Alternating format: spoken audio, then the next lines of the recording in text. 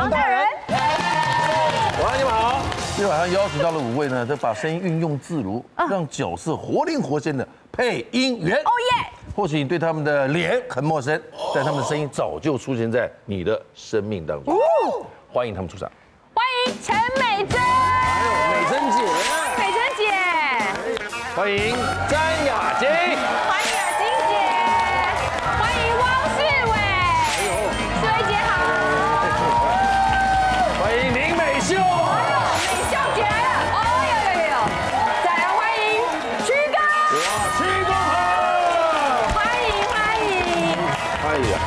他们每一个人呢都有非常多的丰富经验。那美珍姐就是以前就三十七年，三七啊，哇塞，我本来只想写十七现年，场唯一比我大的，年纪比我大的应该就他了，对学弟，对吧？嗯，世新学姐，对，你或许不知道他们是谁，但那声音一出来，我们会吓死你。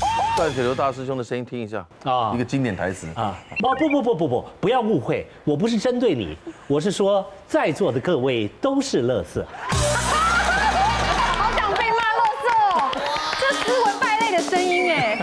他是斯文败类，斯文败类的啊，声对对对，音，然后武功高强的斯文败类。对，断水流大师兄，你这个看你配过你配过几个男主角，多精彩！刘德华就配了七部，李连杰配了五部，张国荣都配了四部，金枝玉叶二，梁朝伟都配了三部，哪三部啊？梁朝伟应该是四部了，梁朝伟有梁朝伟是等着你回来，流氓医生，王牌神棍，还有一个是啊阿基与阿飞啦，对很，多都是这么多的男主角，他们的声音，哎，这样好不好？嗯，差异在哪里？哦呃呃听不出来其实。真的吗？都是曲哥本人的声音。我在我在配音圈里应该算是那种，我的声音的那个可变的范围比较小可是很辨识度很高哎，啊哦，但是差不多都是那种小声的声音而已。哎，你们通常都是一个人面对自己的角色，对不对？有没有可能一个配音间里面两哦三个话同时在那吗边？对对，有有有吗？你说一个人录很多个角色吗？没有没有，同时就几个人都在录音。早期是全部的，人一起录，哦，全部人一起对啊，啊全。部的人一起可，是因为全部人一起啊，没有就好多个麦啊。对，很除非特殊状各有况各的哦，就像我们这样子，这样各有各的麦这样然后。到你的时候，你就是要如果麦不够的话，就站在后排。到你的时候，你就抢到要凑前面，麦这样。然后讲完赶快退到后面这样。台词少的人就观望就对了。对，轮到他，怎么样？怎么样？没错，就是像这类的对对对，对哦配杂音的那种。对对对，杂音的时候我们还会在里面走来走去。而，且我们还要因为要不然听起来杂音会太固定了，哦要所以我们会在里面走来走去，哎，今天怎么样之类的，这样走来走去。哇塞，好有趣哦，就是哦。方声音的不要方向是同一个方向来的。对，他要穿搓落的从这边来。对对对对你要这样听起来你谁啊？你谁啊？你什么了不起的？到这边来，那你说啊，你说啊，怎么？哎，就是这个概对对对对念。喊话喊话的那就种，麦克风会有方向，麦克就是固定，不是因为在那边收音，所以它固定会有只因为麦克风它会有一个它有指向性哦，指向的哦，指向式的。美秀姐，经典的配音角色，她也配了二十四年。哈姆太郎，哈姆太郎本人就你配的。是哈姆太郎先讲他特色是什么？这个角色一个一只小松鼠，很可爱。它会说：“耶！我今天要来参加女王大人的节目，我好开心哦！嘿嘿嘿嘿，木西木西，那我要把我的毛整理的干净一点，来参加这个节目哦。我好喜欢主持人哦。哇塞，好厉害哦。这声音好丰富哦。对啊，嗯，把我乌龙派出所那个秋本丽子，比较胸部很大的身女警，材惹火，对对对对对对对。听一下秋本丽子的声音。啊啊！我就这样，你刚刚在干什么？我我要我要表演了。不要这样，我们这边要工作，我们好好工作。我这我要准备表演了，然后发现，哎，你怎么转过去了？我们要听啊，对我用听的啊哦所以我们要听啊。我就看你这样闭起来，又不是要接吻，那这不是奇怪。所以我当然我当然转过去听嘛，我就只听的。OK OK。啊，阿良，你怎么老是这个样子啊？好好听哦。因为你们配这个卡通啊、动漫啊这些，本来情绪的起伏的线条就要比较厉害一点。是，呃，是老师说必须这样子。对啊对，动漫都是这样的啊。但你以前有配料理鼠王啊，料理鼠王，料理鼠王我的第一个是变变身国王，变身国王。哈砰 baby，对对对。你干嘛了？没有，我觉得很好玩啊。经典的配音角色汪汪汪世伟啊，配了二十八年。二十八年前你是做什么？有做做过别的工作吗？我刚毕业，然后在贸易公司上班，做一个助理，啊，妙了。然后就在华视的对面，我就去报了华视训练班，然后就成为配音以前是以前。华视是不是有配音班呐？对啊，但其实他们两个也都是华氏的。哦，都是吗？学姐同门两哦个。是对，同门同学啊，同学。配音班的同学。哇，好妙哦。哦，这是你比较经典的配音角色，神奇对宝贝的小智跟喵喵这两个角色，小智你一个人主角配两个哎，我们一个人都不止配两个，嗯，整个神奇宝贝的那个卡通开始的时候只有五个配音员，里面所有的人跟动物全部都是我们自己录。哇，对你们所以我们一边要那个皮卡丘、斯万福特，一边拿卡叽卡叽、不叽不叽这样 子弄各种奇怪的宝贝的声音。就是我我派出我派出一个宝贝跟他的跟他派出一个宝贝对战，然后他的宝贝是我，我的宝贝是他。互为对方，帮对方弄。对，所以我们自己打，我们我打他，他打我。了解。神奇宝贝五藏，哎，对，准备对话开始，类似好讨厌的感觉！哎呀，喵喵，你在做什么呀？哎呀，动作快一点好不好？哎呀，武藏大人，你不要再说了！哎呀，我的天哪，喵喵，你到底在搞什么呀？哎哎，好讨厌的感觉！哎，很好，很可很可爱哎，很厉害哎这个对话很厉害哎。对啊，而且其实汪汪姐一开她她声音一平常讲话的时候就有小智的声音了，哦皮，卡丘、十万伏特，就这样。哦，其实你这扮小男生声音也很像超。像的。就我本来讲老太太也很厉害哦，啊，老太太也可以是不是？对啊，老太太韩剧里面的老太太啊，韩剧里面的老太就我一，天到晚在骂媳妇，一大早起来啊，不洗衣服不煮饭，你在这里干什么？哦，好厉害哦，昨天晚上在房间里面干什么？到现在还不起来？听起来好刻薄哦哎。请问他人不够刻薄是表现不出来的。我的人生一定有，有的人生一定隐藏了某种性格，我自己没有开发出来，这样。借由透配音着透着戏剧，对，透着配，透过配音，什么都出来了。珍珠美人鱼，你配的应该是男人的角色吧？是，因为你的声音好像比较中低音比较漂亮对，我是男主角。那那沙那沙罗呢？沙罗就是一个正常的女生啊，就是一个很温柔的女生，在那个珍珠美人里面会变身的。哦，他们他突然间 gay 声，我好受不了。你不要不要这样吗？他刚才刚才才演刚才才演个恶媳妇啊，恶婆婆，对对不对？恶婆婆，然后突然间这样子小小小小鸟依人，好好妙哦因。为汪姐声音听起来很实，所以就会很适合配一些比较阳刚的角色她中。低很漂亮很沉。呃，美珍姐声音特别清亮，你的老太婆就会是另外一种，对不对？其实我们配韩剧，每个人都配过很多不同个性的老太婆，有那种被欺负很温和，被恶媳妇欺负的，很苦命的老太婆很苦，命的，也有那种很凶恶的。通常凶恶的就是汪汪，那苦命的就是像我这种。我们都我们依照个性来分配。我明明也有很温柔。来，凶恶的婆婆跟被欺负的媳妇两个对话一下，来准备，然后预备来。呃你到底怎么？么教你女儿的啊？妈，我已经尽力了，你们不要再这样逼我好吗？我不要再鬼扯了，你尽力尽什么力啦？妈，我会改的，好吗？再给我一次机会。你不是婆婆吗？我不是婆婆，我是您的媳妇儿。你不是要就不是，我是被欺负的媳妇儿。请问一下，这个媳妇在凶什么？你不是婆婆啊？所以我不是，她是她是我是在跟秦家母讲话，啊，对啊，刚刚说他是媳妇儿，啊，我是媳妇儿。你是恶恶婆婆在欺欺负善良的媳妇儿。哦，嗯，二十四年的詹雅金，鲁夫跟乔巴都是你配的哦。对，太厉害了。我是蒙奇迪鲁夫，我是想成为海贼王的男人。哇，可以，现场一阵惊呼哎！陈长刚长得实在太帅了，呃，可是呃你再怎么帅，我也不会夸奖你的啦。你的音质差别好大哦。对，我是比较音域比较可以广。很成熟，又可以很欠揍，我觉得蛮好。对，你们这个声音要去需要进修吗？我是喜欢模仿别人，模仿，嗯，然后偷听别人讲话，学别人讲话的方式。比如说你曾经模仿过谁？我曾经，我最记得我有一次去清新福泉买去茶摇手摇店买茶，那个店员就说，小姐，你要喝什么？我就说，呃，我要清茶无糖去冰，清小冰不加。然后我就把他讲话的方式学起来，当我配音的时候就可以用。我就很喜欢用这种方式去模仿别人讲。哦，它变成你的一个资料库。对，好了，最后一位美珍姐来，三十七年配音资历，呃，要你回想这三十七年，你最难忘的是什么？因为很多就是喜欢配音的人，知道我们配过角色的人，都会要求我们很多，比方说生日的祝福。哦，我朋友过生日，可不可以用哆啦 A 梦的声音帮他祝福一段？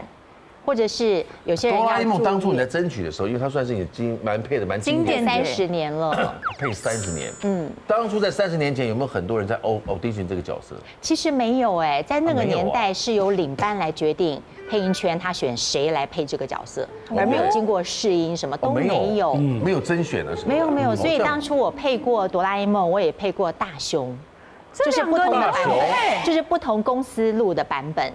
像华视就播了这么久的时间，都是播我所录的版本。那我们看那个 Stand by Me 也是你配的吗？对对对，电影版也是，每年都有一到两部，嗯，然后每一年都有五十二集新的卡通在录音，我们现在正在进行当中。用哆啦 A 梦讲话来。呃，今天大雄想跟我来，可是他考零分了，所以呢，我就带了静香来这里看晨晨哥哥跟八玉姐姐。静香在我对面，你是静香哦。你讲话，他讲了你就哆啦 A 梦，大雄，大雄他又不考试，呃不是他考试又零分了。静香，我跟你说一个秘密哦，其实你才是我心目中的女王大人。哇，谢谢哆啦 A 梦。鸡皮疙瘩你不要自己就停下来了。导导演没说停，你叫演员要一直往下演。我我只能看稿子 没没有稿子，我真的是你看美珍姐即兴的多好啊！很厉害。对，还把节目名称灌进去呢，对多好啊！美珍姐三十七年前是怎么投入？就是因为你是世新毕业的关系吗？因为我从小不说话，啊，就是我是一个很内向、有点自闭的小孩，就是家里有客人来，我就立刻钻到那个床底下不出来的。所以后来到了呃国中毕业要选学校的时候，我妈妈就希望我可以去一个可以让我说话的学校，嗯，所以我就念了世新，对，广电吗？广电科哎，呦，那成绩还不错，好不好？宗，算是不错，我觉得很棒了啦。对啊，所以借由配音，你觉得你的那个害羞个性可以得到一个管道抒发出来？有，我觉得把以前大概二十年没有说的话，我在这剩下的录音室全说几。十年拼命的说。请问，如果邀请你们去演戏的话，也是 OK 的吗？我觉得演戏好难哦，因为我们在录音室，我们只需要我们把声音声音尽量诠释到可是，在舞台上，我们的手脚会不知道放在哪里。没错演戏完全不同的领域，而且我们记不住台词，记不住我们太依赖稿子了，对。没有稿子就没有脑子。你们的专长就是照本宣科。没有稿子就没有脑子。通常是这样子看着稿子，然后眼睛是这样子盯着荧幕，这样子看对，这样子配音，就是上下这样子跳。对。所以要即兴发挥就比较难，对我们来说。好，我来进行第二个环节。来，配音生涯中在我脑海烙印下的永生难忘。就是我莫名其妙成为很多少女的初恋，哦怎么说？因为我录了《珍珠美人鱼》的海斗，然后唐本那是一个海斗，对，那是一个那个国中女生会变身成美人鱼的故事。嗯。然后就很多小所有小女生都喜欢看会变身的卡通，嗯，所以呢，所有小女生都喜欢那个卡通的男主角。然后你有因为在办见面会吗？有。有，就是五月五月中的时候，真的假的？，对，同乐会。就是他们办了一个歌，呃，那叫什么就见面会，同 K 歌乐同乐会哦，是那个珍珠美人鱼的周边商品代理商在台湾办的。嗯他们北中南已经办了不知道多少场了，然后这些 coser 就会打扮成他们喜欢的角色的样子。那你在现场要用海斗的声音跟他们说话。我用我用我上台只要用海斗的声音，他们就啊这样子。那我用本人的声音，他们就还好。你不用打扮成海斗的样子吗？都海斗他就穿学生制服而已，甚至有一个妈妈带着女儿来找我照相，嗯那个妈妈很兴奋冲过来，然后说。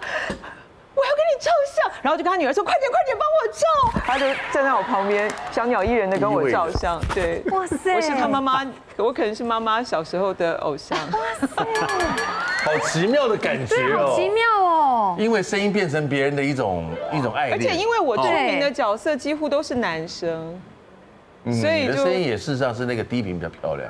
没有我也有很漂亮的女生啊，我很适合录性感的女人。对对对，是那种比较妩媚的。你这个声音就是一个有历练的，，对，哎，历经。沧桑的，呃，历经沧并并没有，历经沧桑不一定，有故但这个事的人。对，不单纯，没有有意思。嗯，来来，美秀姐，晨晨哥，我是知心好友共患难，对，最，难忘。因为好友我刚开始 对跟雅晶一起在学习跟班的时候，然后那个时候我我我们是我骑着摩托车载着他，从早上九点半开始进录音室，然后赶班，然后到各个地方，一直到凌晨，就是每天都跟他一起。然后在录音室学习，我还记得有一次下大雨，我们两个就在风雨中，然后他还跟我说：“没事，我永远都不会忘记。”我们两个我永远都不会忘记，不会忘记做你忘记带雨伞，我们的雨衣呢？你刚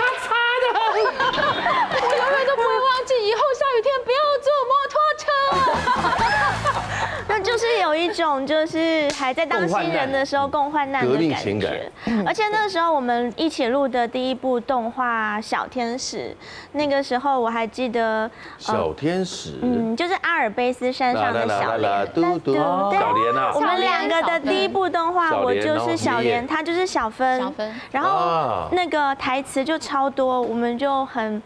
很很紧张嘛，所以就会到录音室学，呃，就是练习。先看然后那个时候有一个学姐很凶，就踹了门进来。是谁？不能说，不过她已经不是我在了，哦不是不是他已经不在配音圈她不在配音配音圈的学长学姐字也很重吗？当然了，其实对算也跟以对对前以前每个行业都是这样，对都师师徒在。传承上面这样弄看得比较清楚。哦，总之，他就踹了门进来，主要是就是直问了我们一些问题，然后我我回答不出来，我就哭了。可是因为有他在我身边，他很勇敢的，就是回答学姐的问题这样子，所以我就觉得应该是一种侠女个性吧？是侠女。对 有了，看起来就是正义魔人啊，对对对，挥路见不平的，对不对对就拔刀相同的，对，拔 拔拔刀相助的那种。没错，所以这是我最难忘的事情。最难忘就这么一个人，其他的难忘就都配音的配音的甘苦没有难忘的部分哦，对对？配音大部分是很枯燥的，其实。枯燥，啊，不会，对我都觉得很快乐哎，好玩啊！对不起，难怪你这么这么久不配音。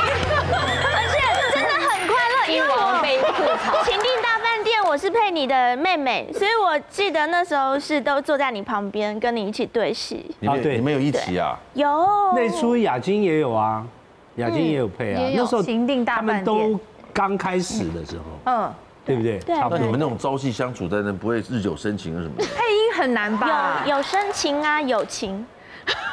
呃可是我很好奇耶，像你的声音，还有你配的角色，都是比较，比如说可能比较呃柔弱，或者是比较对。第一个被声音导演选的都会是这个角色。你有因为这样子被骚扰过吗？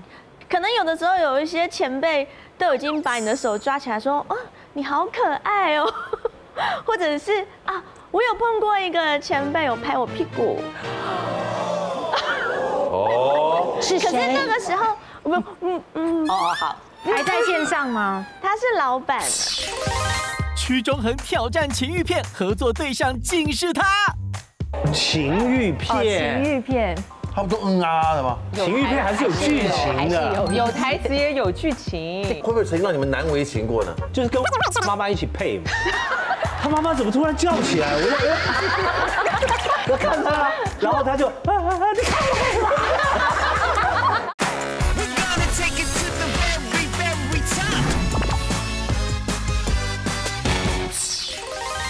我有碰过一个前辈有拍我屁股，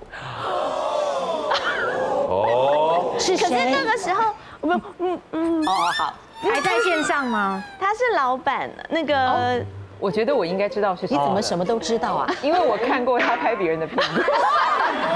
没有，因为我那时候也不好啦，我穿的是那个运动服的裤子，所以可能屁股。他跟我哎，这种事情不能怪自己，对真的哈，不行不行不行不行，不可以怪到自己。己身上。我那时候也觉得，哎，好，因为他他当着所有人的面前拍啊，说，哎，怎么美秀屁股好翘哦，这就是性骚扰了。我就大声的喊出来说：“哎，你拍我屁股！”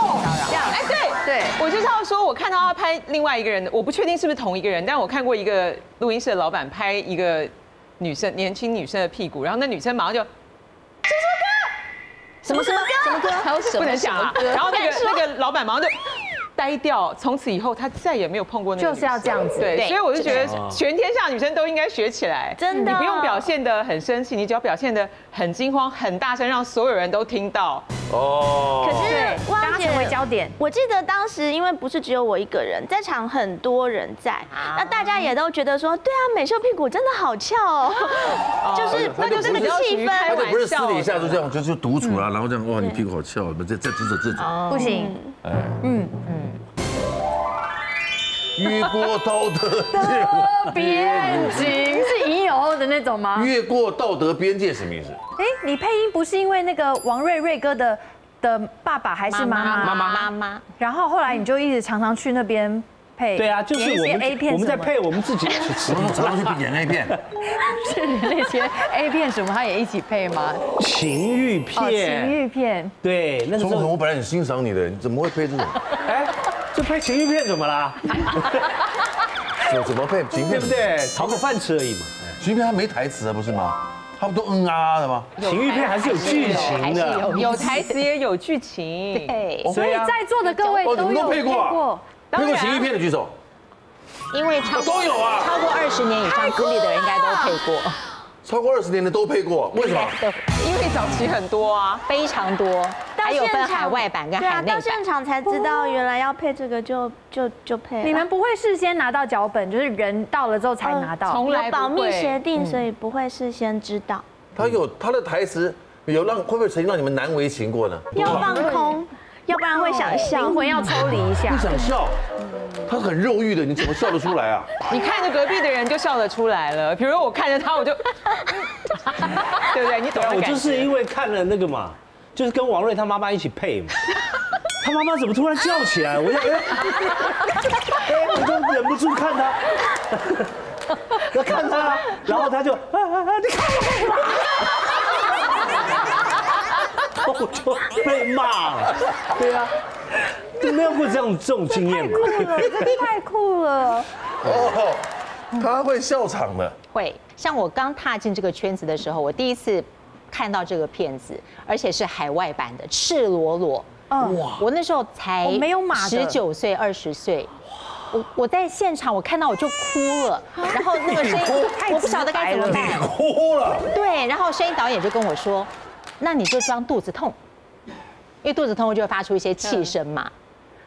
结果我就真的想象我肚子痛的，他说不行，真的很像肚子痛，你要发出 不同音量的气声，就是太像肚子痛。他说要真的有一点痛，但是又有点高兴那种感觉才行，碰爽碰爽的。骗啊送，骗啊送。对，那我们就真的不会。呃，你现在现在的你会了嘛？对不对？不会。学姐。听一下了，虽然年纪大一点，还是 还是有这种要求的。对学弟，我们在这种公开场合，还是要稍微保守一点。对呀，你莫名其妙叫人家 要干什么？去就很想帮忙说，好想听啊！我也是没有任何经验，就就被叫，对啊，就被叫去录了。嗯，而且是不是女生是通常不知道的情况之下去了录音室？对，都都是到了才知道是录什么。对啊，我们男生都知道。然后领班就会说：“哇，你上去，那个角那个女生你就把它录掉。”后来我只负责台词，所有气声就是资深的配音员帮我出的。哦，我只讲台词有什么学问呢？台词它是有剧情的，它一个多小时，它有故事。哦，还没有引有的时候，还是要讲点话，只是精华片段。但是那种片，那种片很多也都不背台词，他们从头到尾都讲一二三四五六七七六五四。对，你说剧中人啊，里面的角色。然后我们就要想办法把他搞剧本上写的词塞到他那个一二三四五六七的嘴里面。男生通常是有对白嘛，有对白，但是等到开始的时候，嗯。做那档事的时候，男生就没有声音了，女生要多，女生就累死，男生只要在旁边 就好了，女生在那边啊 啊一直叫这样，而且后来录到会有点缺氧，对，因为要过因为在喘气，一直在喘气，对，所以我们有时候录到请录音师拿个氧气筒进来好吗？我第一次真的会缺氧啊！我第一次录的时候，因为我第一次，然后我我那时候才二十一岁，我也没交过男朋友，就是跟 O A 啊，然后 O A 那个领班就在旁边，然后就他就一直说，然后我就。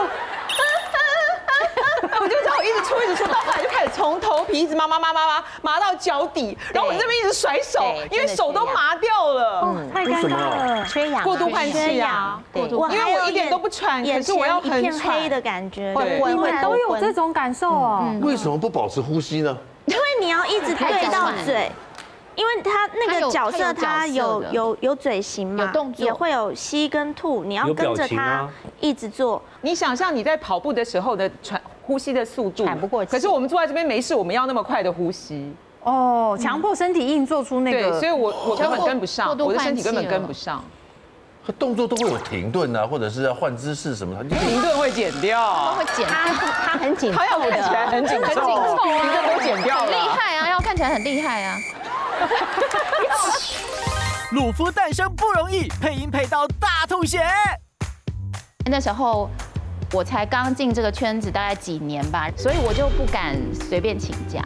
我只要挺直，我就开始呕血。哎呀！所以我后来开刀好了，第一次开口喊伙伴们，我们冲啊！又吐血了。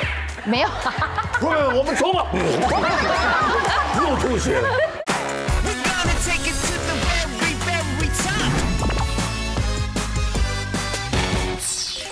停顿会剪掉，会剪他他很紧，他要看起来很紧凑，停顿都剪掉了。很厉害啊，要看起来很厉害啊。要看起来很厉害，所以他都剪掉。你已经是评论家了。我还有遇过一个前辈，一个女生的前辈，她配到后来说：“哎呀，不行了，我好渴，让我喝一口水。” 进入角色，他完全进入角色了。哇塞！我就在旁边目瞪口呆。哇塞，可以自然成这样，我一定要好好学起来。所以你说我为什么不看，对不对？朋友的妈妈，太精彩了，太精彩，太投入了。对呀，对，完成并同的心愿。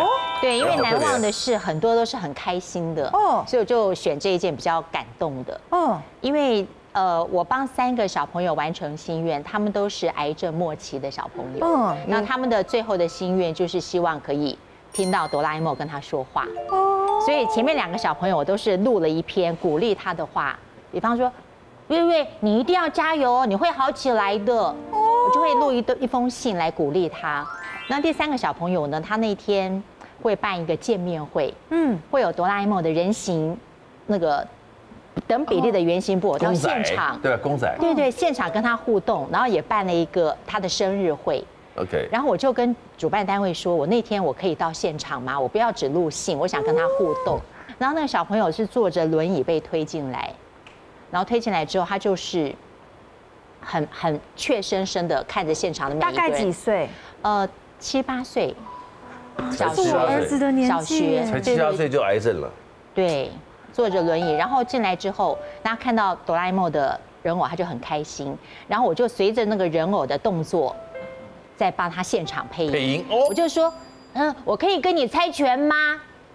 然后他就经常说，所以人偶在里面听声音做动作。对，哎呦，因为我觉得这比是念一封信要有意义，有意思。对，然后因为他就跟他猜拳，因为哆啦 A 梦他没有手指，对，所以他就一定赢啊，他就很开心。他就那天笑得很开心，然后拿到了很多礼物。后来结束之后，他爸爸妈妈就握着我的手，流着眼泪跟我说，他的儿子好久没有笑了。哎呦！那个现场我真的听了好感动。我觉得做这份配音工作有这样的哇，有洋葱，附加价值，有洋葱，有洋葱，有洋葱。我就真的觉得好感动。然后其他很多欢乐的事情都比不过这件事情让我这么难忘。好有意义哦，难忘。对，美珍姐自己也有粉丝同乐会的。哦，因为。我有一年在大陆工作时间比较长，嗯，然后大陆的粉丝还有公司，他们就帮我办了一个直播。可是直播通常都是分享我们配音的一些经历呀，或是一些有趣的事。那那一次我们就是这个现场做铜锣烧，因为很多粉丝都说，哎，哆啦 A 梦最爱吃铜锣烧啊，你要不要做铜锣烧给我们吃？所以现场就布置成一个小小的好可厨房，爱的。对，然后旁边是录音室，然后现场做粉丝就会直播，就一直给我们回应说，我可以宅配吗？可以吃吃看吗？可是那是，那个是你啊，对对对，然后后来直播结束之后，我们就到一个八通关的一个景点去看一些各国的建筑物，嗯然后这时候对面就有一个人走过来，他就直接拿一朵花说：“美珍老师生日快乐！”我吓一跳，后来才知道其实是粉丝们安排的。后来就不管从对面走过来，或是从马路对面穿越过来，每一个人都送我一朵花，都说美珍老师生日快乐。所以我后来那个花已经把包包全部都装不下了。哇，然后还对住，然后碰到一群大学生，他们知道我生日之后，他们就把身上所有哆啦 A 梦的扇子啊、钥匙圈呐、身上有的相关的全部都送给我了。好特别哦。没人送他青岛啤酒给你，有拿个塑胶袋，有吧？在喝油，对塑胶袋，好喝。我这边做美食节目就是拎着，嗯。直接打酒，对。还是要再拎着，你就要拎着，然后呢，你知道放在哦，回家吃饭的时候呢，墙上有个勾勾，有个有个铁钉嗯，你就挂在铁钉下面，然后下面烧，然后上面烧一个洞，嗯。嗯，那你知道，只要拎着一个脚这样子背着去接嗯，就可以倒一杯，倒一杯很特别，好特别哦。对那个是限量最好喝的青岛啤酒，哦，很好哎。对，可雪追梦，哇，就那是骑摩托车那次是吧不？是，不是可喜，就是我咳了，大概就断断续续咳，我咳了两年，这两年中我还是一直在工作。什么病啊？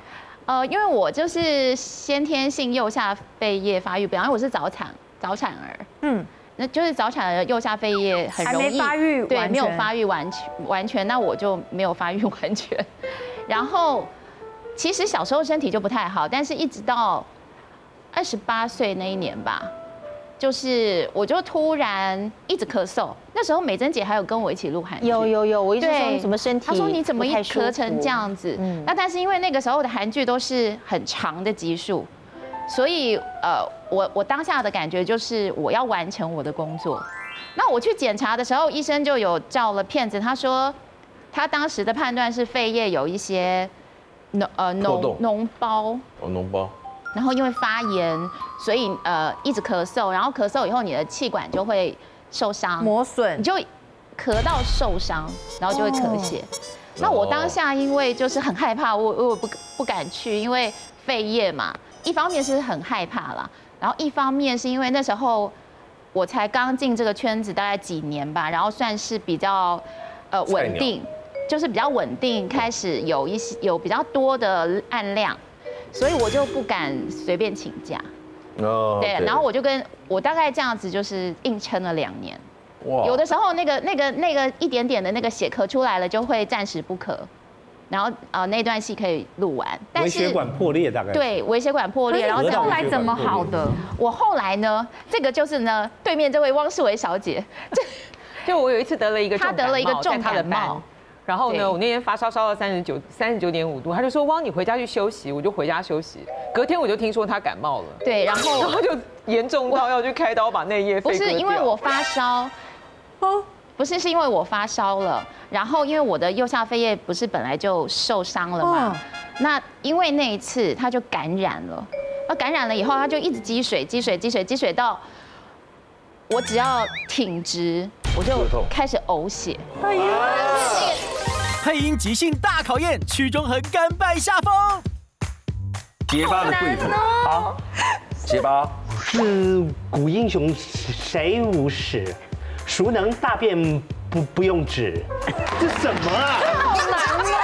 结巴贵妇顺口溜，有哎，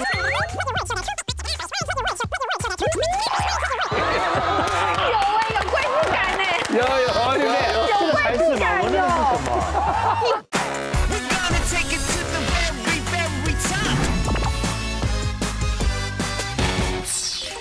我只要挺直我就开始呕血。哎呀，但是那个是那个是很像那个就积在里面。他我后来去照了 X 光，他说里面是一个大的水球，然后一半都是水。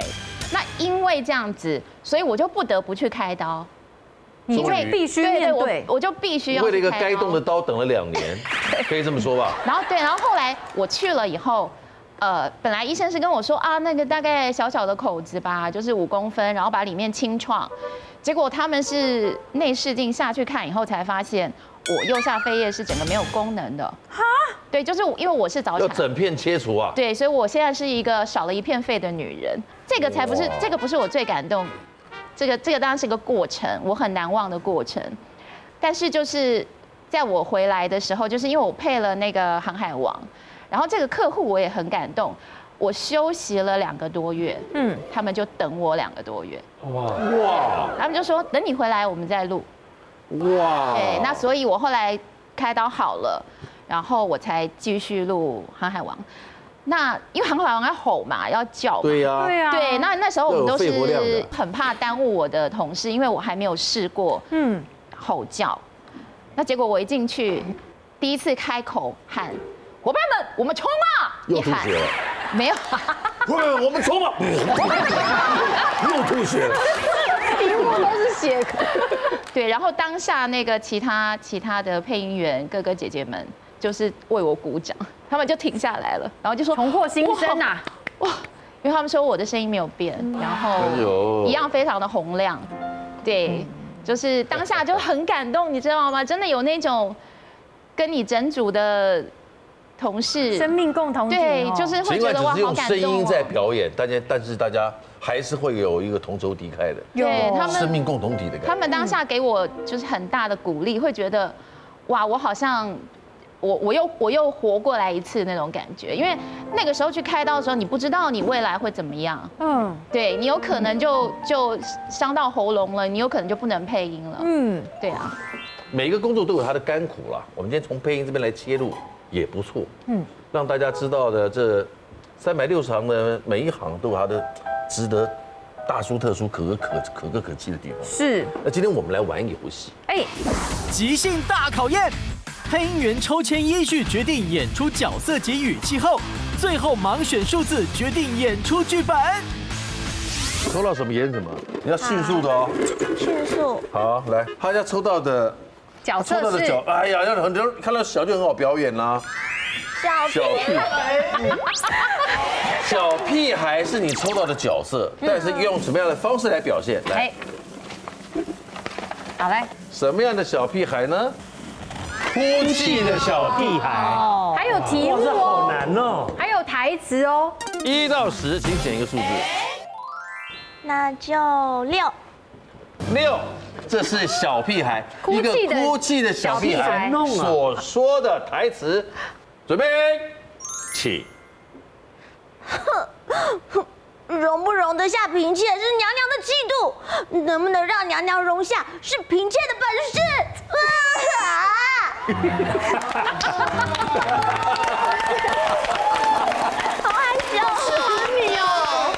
屁孩，屁孩哭也很正常，常被打嘛。对，嗯，那屁孩一定会被打的。对，对不对？然后要说的《后宫甄嬛传》的台词，真是不容易。对啊，这很精神分裂。你可以再听一次吧？我觉得好好听哦。再次，再次。我也想再听一次。来，一边，一边，你你也可以改哦，哦，让你重新诠释到你会怎么背啊。好，来，准备，预备，开始。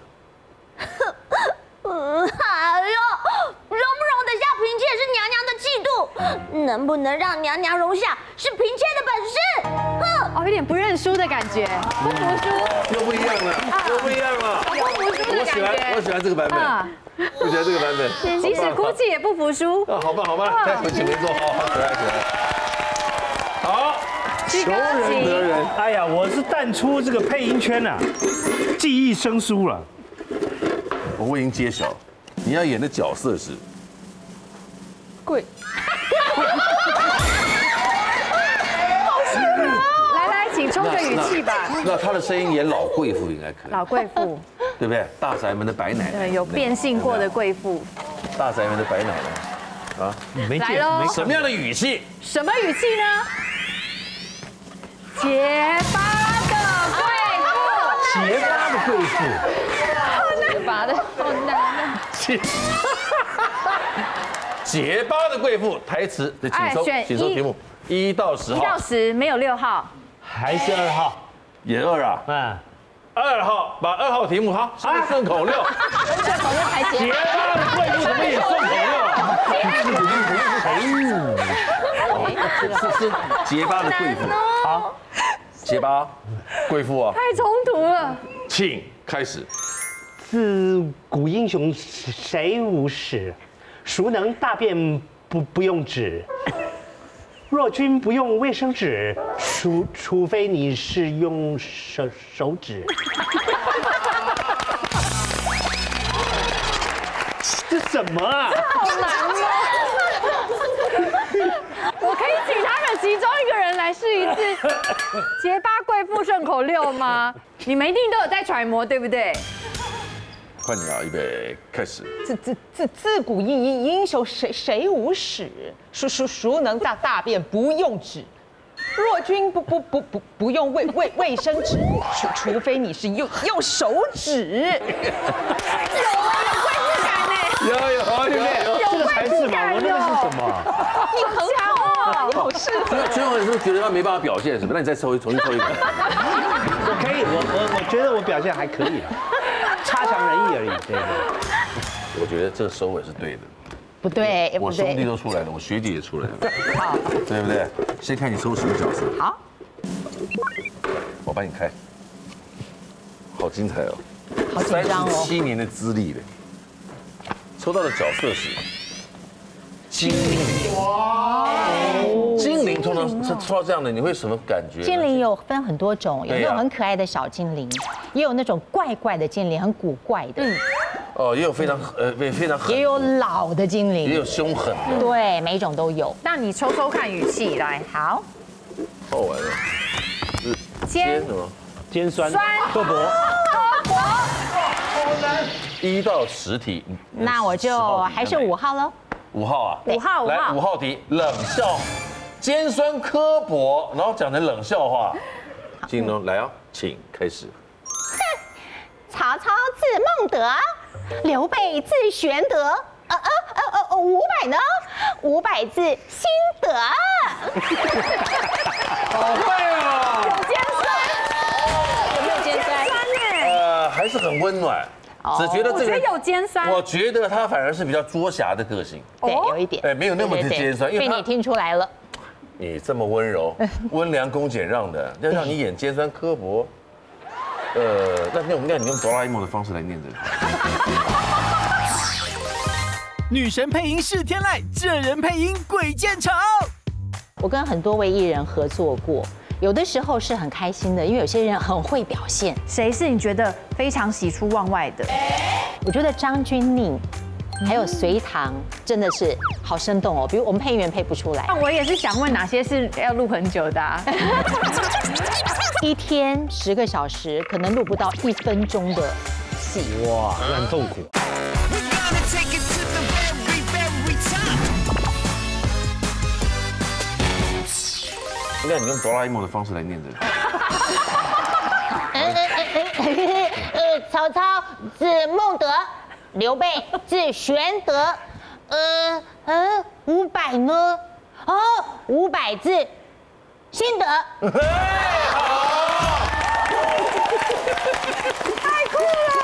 好精彩哦！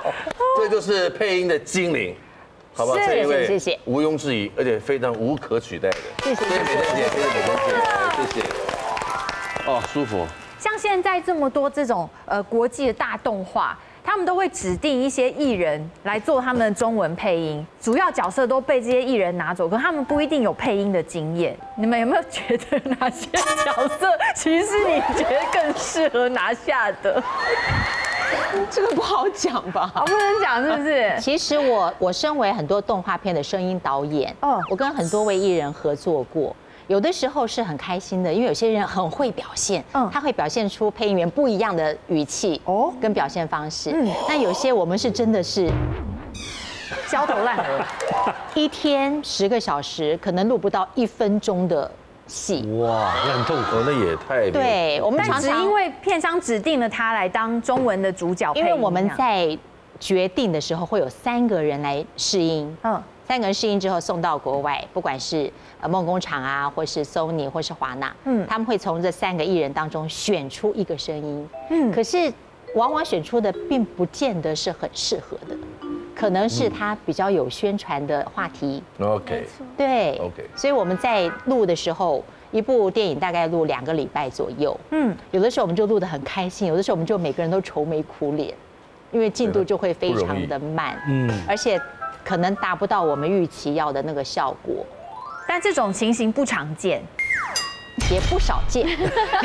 不是你们不知道那种时候，就是领班要一遍一遍的演给他听，让他，所以他配一句，领班配了几百次。对，我记得有一次那个马达加斯加，我们找了郭子乾的儿子，因为想说大狮子跟小狮子最好是父子一起。嗯，那那个小狮子他因为爸爸被抓走，还有就是一直叫。爸爸，爸爸，可是小朋友没有配音的经验，所以我就要一直示范说，爸爸，然后小朋友就爸爸，结果我那天下午我已经哑了，我叫了几百次爸爸。我爸爸在家都听到我叫他了，就叫了几百次，结果后来我我们还是把它录下。我就跟录音师说，我不管你怎么调，不管你怎么弄，你就从这些爸爸当中帮我选出几个适合的。哇，也是有很艰难的啦。对对对，会有很多。因为配音的声音、表情跟那个角色的个性、形状，嗯，然后你的声线的调整，然后还有还有故事的发展，还有很多的。呃，因为情节的关系，所以有很多的起伏，对，还有好多细节，对，所以有表演经验，有没有表演经验，在配音上面差别很大。嗯嗯，好，那我就问，在你呃指导过的这些艺人当中，没有过配音经验艺人当中，谁是你觉得非常喜出望外的？我觉得张钧甯，还有隋唐，呃，寇乃馨，嗯，像大闷锅的那几位演员，嗯，他们就很有自己的想法，像。唐崇盛，聪聪，他就跟我说：“哎，我觉得这一句哦，如果换个方式来讲，或是我加点用唱腔，好像会更好。像刚刚晨晨前面一开始有示范你配音的，你的动作立刻就出来了。嗯，我觉得那是演员跟主持人他们与众不同的地方，他得天独厚的地方，因为你会带动你的语气，真的是好生动哦。比如我们配音员配不出来，因为我们喜欢表演。对对，那个表演很重要。”啊，你的问题算解决了没有？你算解决了，不然我也是想问哪些是要录很久的，不好讲，不能讲，不能讲吧，对不对？好的，配音员呢，不仅用声音陪伴了每个人的成长光阴，也在我们的日常是无所不在。他们透过声音巧妙的变化，刻画出角色的个性跟轮廓，注入独一无二的灵魂，替影片呢增添了丰富的色彩，造就许多脍炙人口的作品。期待他们的未来。继续用多元的声音魅力带给观众华丽的听觉响宴。OK，再次谢谢谢谢王大人，我们下次再见，See you，拜拜，谢谢。